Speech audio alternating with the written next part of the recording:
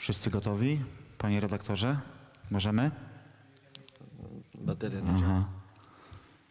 Dobrze, Nie naładowana. dobrze. Dziękujemy bardzo. Poszło. Panie trenerze, jak to ważne dla nas spotkanie z tym Śląskiem Wrocław-?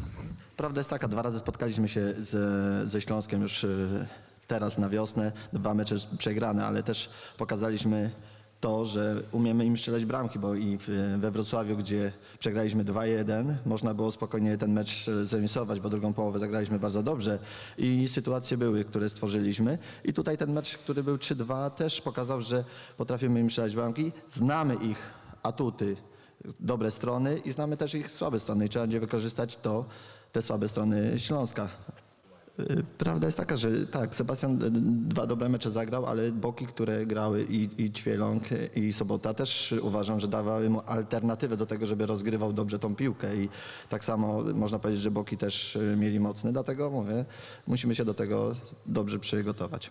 Tak, Patryka nie będzie, wyjechał do, do rodzinnych stron, bo ma problemy rodzinne i także dopiero będzie w niedzielę z powrotem. Szanse mają e, Jovanowicz, Jaliens i Cwetangenkow. Także dzi- dzisiaj będzie decyzja, jaka będzie osiemnastka, bo prawdopodobnie z tego, co wiem, to jeszcze do Małego, do Meckiego dojdzie Sobolewski, który nie pojedzie z nami i dzwonił do mnie trener reprezentacji i Szewczyk tak też podobnoż naciągnął dwójkę, grając tam sparring e, na reprezentacji, także też nie będzie można z niego skorzystać.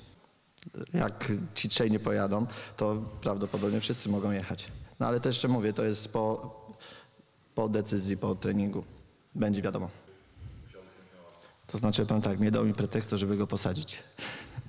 Prawda jest taka, że z składu wygranego się nie powinno zmieniać. Także tutaj też e, młodzież pokazała, że warto na nich stawiać, że daje sobie radę i kwestia, żeby dobrze wyglądała przyszła runda, dać im się ograć, żeby mogli spokojnie wejść później w grę.